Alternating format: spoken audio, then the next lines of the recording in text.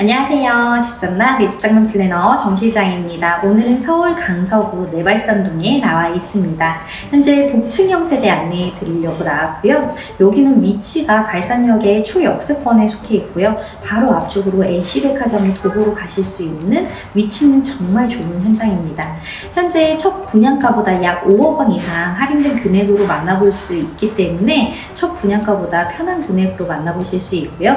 현재 집산나에서 안내해 드릴 세대는 테라스 세대기는 하지만 테라스가 없는 세대도 있기 때문에 오셔서 실질적으로 구경하시면 참 좋으실 것 같습니다. 현재 테라스 세대는 정말 자녀 세대가 얼마 남지 않았기 때문에 테라스 원하시는 분들은 조금 서둘러서 보시면 좋으실 것 같습니다.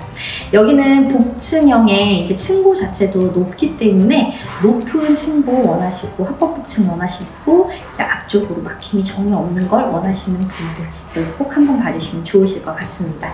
그럼 지금부터 저랑 같이 내부 한번 살펴보실게요. 집선나 출발해 보겠습니다. 전실 공간부터 안내해 드릴게요. 오른쪽에 보시면 키 큰 신발장 대형 사이즈로 두 칸 들어가 있고 밑에 띄움 시공 되어 있습니다.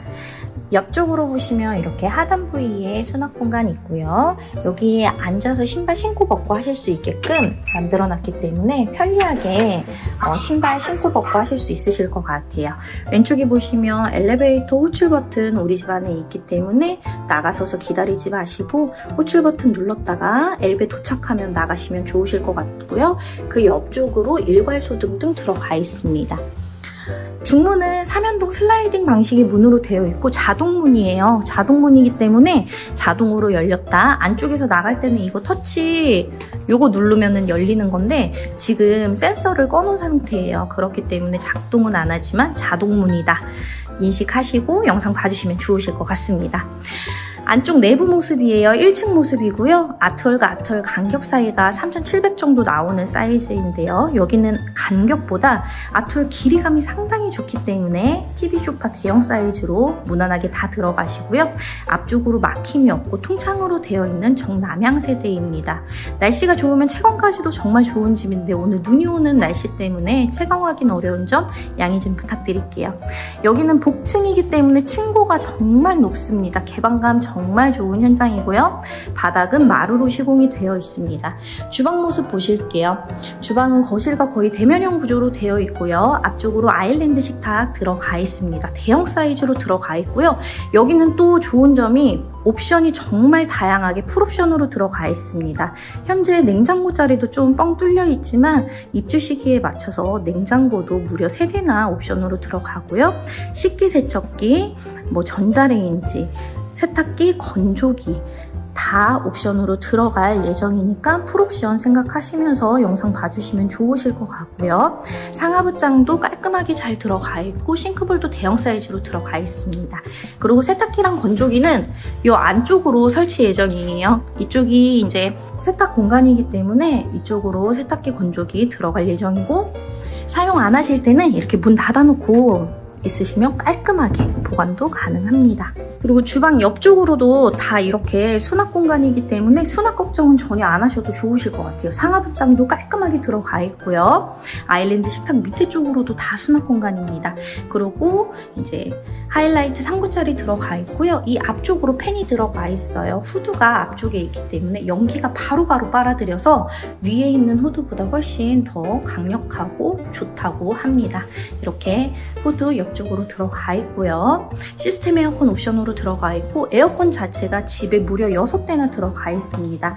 1층에 3대, 2층에 3대 이렇게 들어가 있기 때문에 에어컨도 따로 오셔가지고 설치 안 하셔도 좋으실 것 같아요. 그리고 주방 옆쪽으로 쪽으로 방이 있습니다. 이거는 두 번째 방이에요. 지금 들어가 있는 시스템 장이랑 서랍장도 다 옵션으로 들어가 있기 때문에 여기 드레스룸으로 사용하시면 참 좋으실 것 같고요. 메인 안방 모습 보여드릴게요.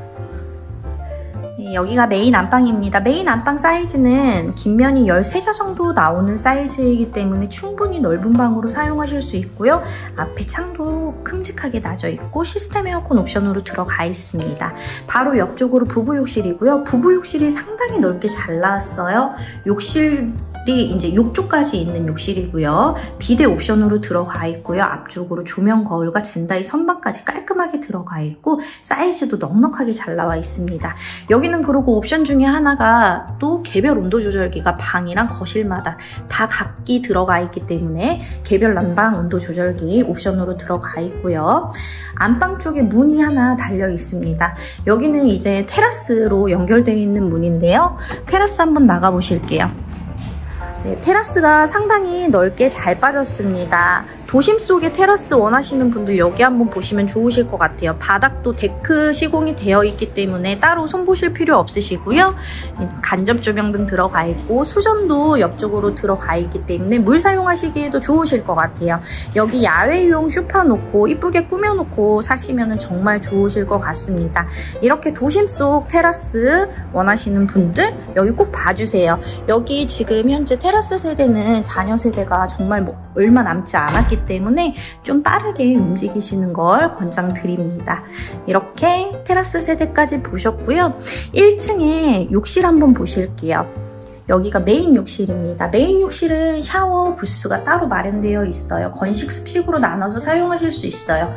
밑에 단차 시공도 잘 되어 있고요. 조명 거울부터 젠다이 선반까지도 깔끔하게 들어가 있고 여기도 역시나 비데 설치되어 있습니다. 이제 2층으로 올라가실 건데요. 2층 올라가시기 전에 복층에 항상 보시면 이렇게 계단 밑에 창고 형식으로 사용하실 수 있게끔 짜투리 공간이 있습니다. 보기 싫은 물건 보관하시기에 좋으실 것 같아요. 이제 진짜 2층으로 한번 올라가 보실게요.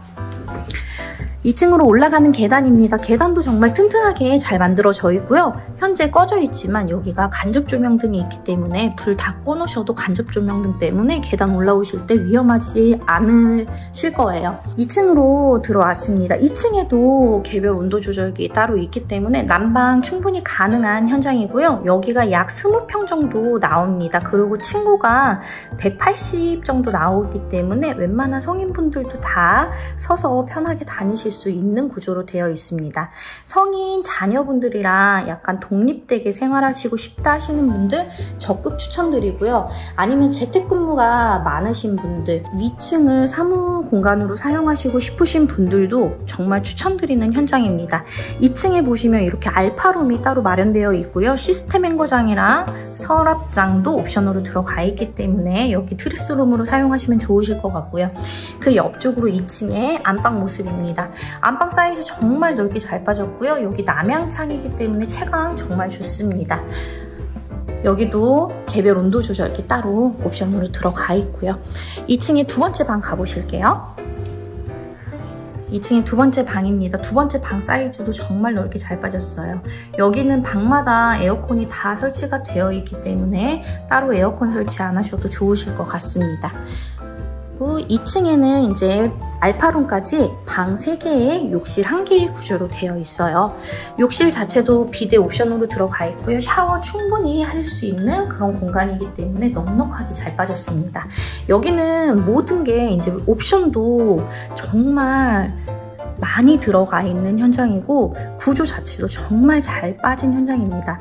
현재 지금 첫 분양가보다 약 4억, 5억 원대 인하된 가격으로 만나보실 수 있기 때문에 지금 조금 빠르게 오셔서 보시면 좋으실 것 같아요. 지금 제가 영상 찍는 동안에도 계속 이제 손님분들이 오셔가지고 보시고 있는 상황이고 이제 테라스 세대는 지금 자녀 세대가 정말 별로 몇 개 남지 않았습니다. 이 집에 대해서 더 궁금하신 사항 있으시면 집선나로 문의 주시면 더 자세한 상담 도와드리겠습니다. 오늘 영상은 여기서 마무리할 거고요. 제 영상이 도움이 되셨다면 구독, 좋아요, 알림 설정 꼭 부탁드리겠습니다. 다음 영상에서는 더 예쁜 집, 좋은 집, 저렴한 집으로 찾아뵐게요.